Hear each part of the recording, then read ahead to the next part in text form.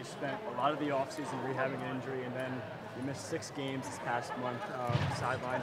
How difficult was it for you to uh, watch games from the sideline, and how rewarding is it to be back?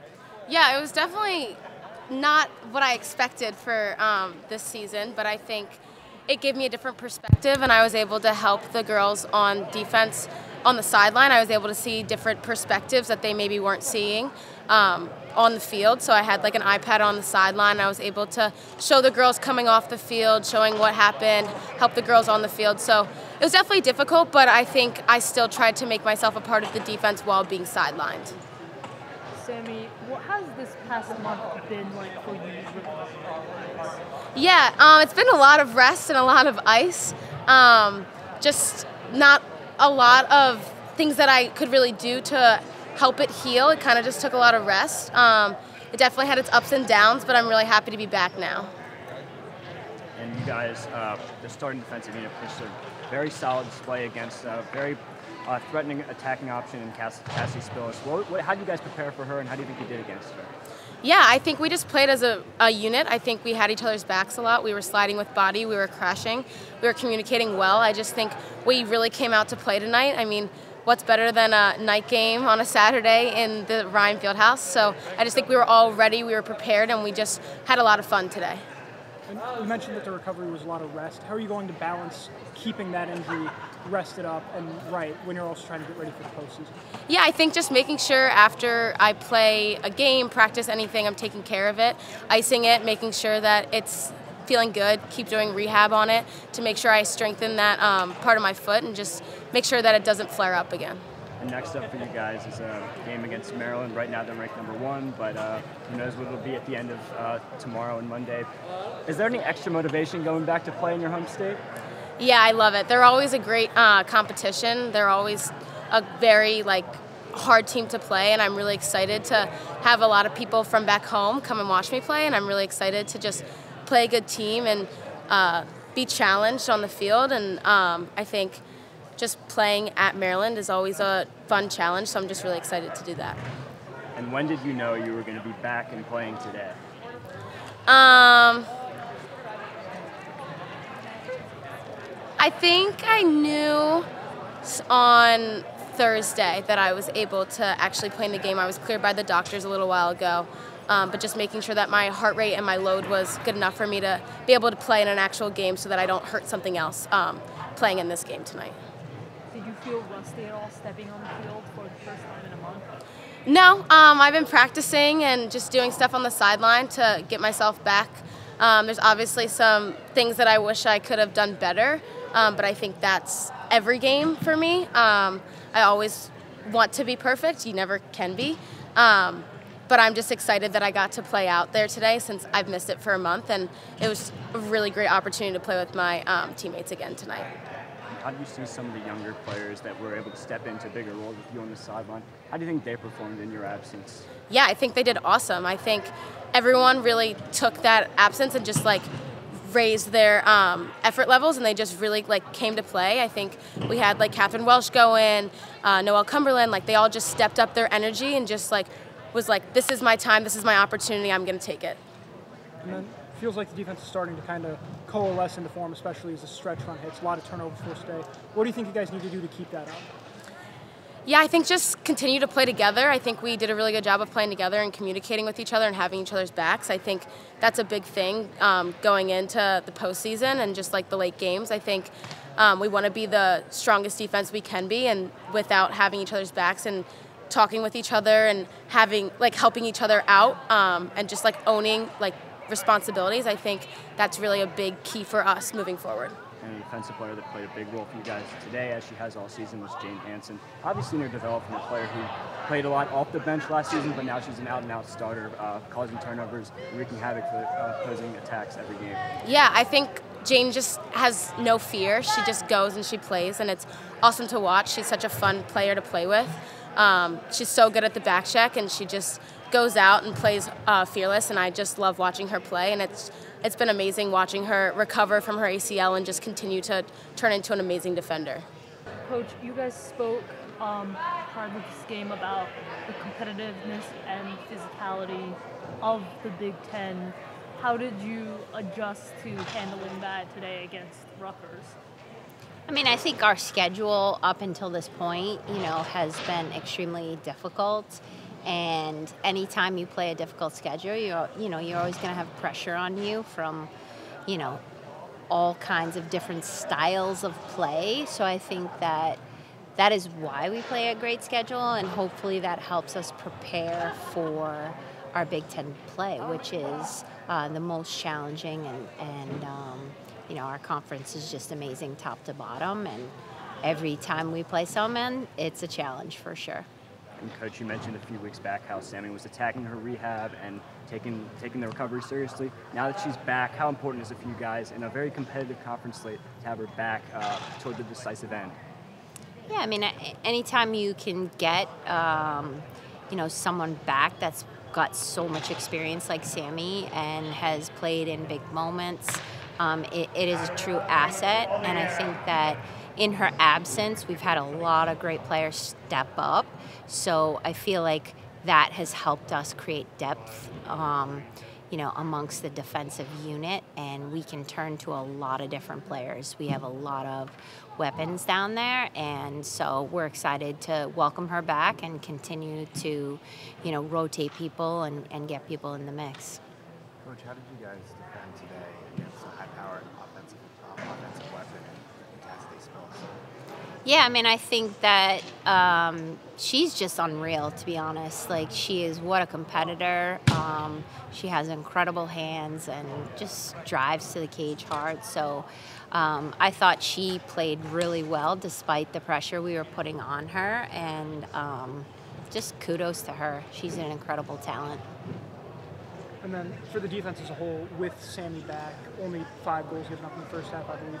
How are you feeling about the chemistry as a whole, especially as we get closer to the postseason in the stretch run? Yeah, I mean, I think we're continuing to develop our D. You know, um, there's a lot of learning coming from today, and um, we want to continue to hone in on the different styles of defense that we play. So um, tonight we played a little different, and um, you know, I thought I thought we were able to adjust to that and play pretty well. So.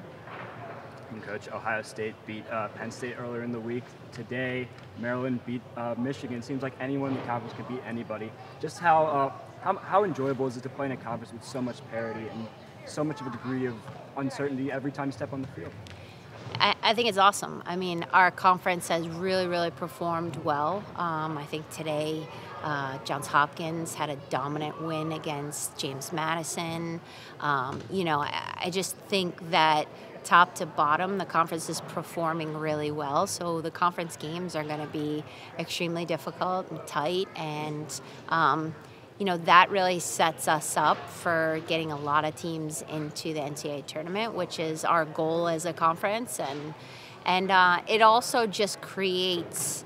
Um, a great opportunity for you to play tough games down the stretch, which I think prepares you for when you do make the, the NCAA tournament. You're ready. You know, you've had your your toughest competition down the end of your season. So I think it's pretty exciting uh, what's happening in the Big Ten, and I think there's a lot of parity across women's lacrosse. I think that is exciting as well. You know.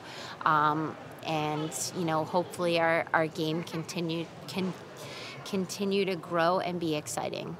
And coach, switching from defense to offense, the transition game seemed to be really clicking today. How important is it for you guys to make sure that's up and running now as we get to the close of the season?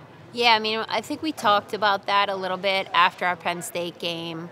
Um, was able to to do some of it uh, against North Carolina, and then this week we really honed in on it. And yeah, we want to be explosive from a lot of different angles, and um, you know, we have a lot of weapons coming out of the defensive end. They're very good offensive type players too. So um, we want to leverage everything that we have so that if we meet something and one thing's not working, we can leverage the other thing. So, you know, each week it's just about getting better and better and, you know, developing our game in different ways. And another big game for Jane Hanson on the defensive end. She got her second straight goal on the senior day after scoring last year against Youngstown State. Uh, how have you seen her develop this season from a player who would provide a spark for you guys off the bench in the midfield and on defense to now a day in, day out starter on defense who's causing turnovers and wreaking havoc for opposing attacks? Yeah, I think last year she really found her groove towards the end of the season. She's just a a really unreal takeaway defender, um, and she's got incredible speed. Um, she has played midfield for us in, in her past, and you know she she can do things all over the field. She has uh, incredible abilities, and she's really starting to believe in those abilities, which is exciting. Um, and she's just only going to get better from week to week. Uh, speaking of senior day, one of your seniors today, Mary Schumar, had two, two pair goals and three assists. It's a five-point game. Um, first off, what can you say about her performance? And secondly, since the senior day, what can you say about her impact into the program, even if she transferred in?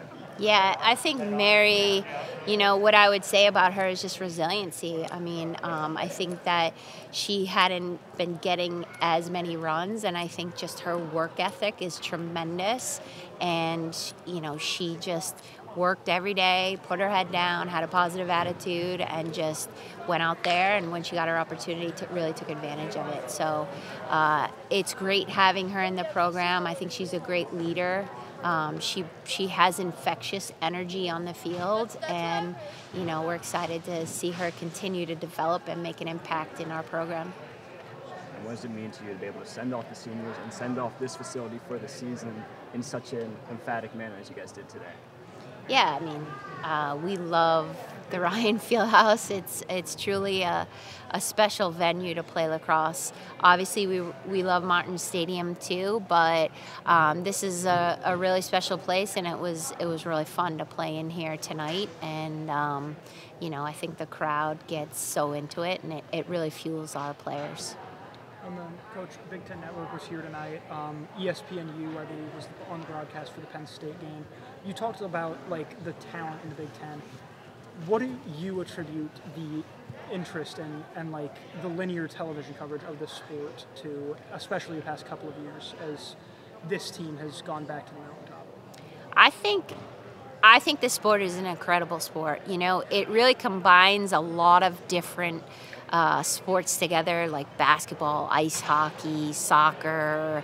I mean, there's so many different components to lacrosse, and that's why you see, you know, some of the, I think, uh, one of the players on NC State's men's lacrosse, te- um, men's basketball team is a lacrosse player. Uh, I think, uh, you know, obviously we've got Pat Spencer. There, there's you see that crossover because the skills are so translatable. And I think that the game is so exciting because it's so high scoring. Um, the athleticism is tremendous of these young women. And I also think that you can have a lot of different types of athletes. You can have a shorter athlete, you can have a taller athlete, um, you can have a speedster, you can have someone that just is tremendous skill. So I think it brings great like diversity to our game in terms of like what people can do. And yeah, I mean, I just think it, it's exciting. Fastest game on two feet. And what are you expecting as you guys head into College Park next week to match up with Maryland? You know, we, we expect a great challenge. Um, they play extremely well uh, at home. Uh, they're obviously a tremendous program, so well coached, um, and you know they have a lot of weapons on both ends of the field. So we expect a great challenge. It's a great rivalry, and we're really just grateful to have that opportunity.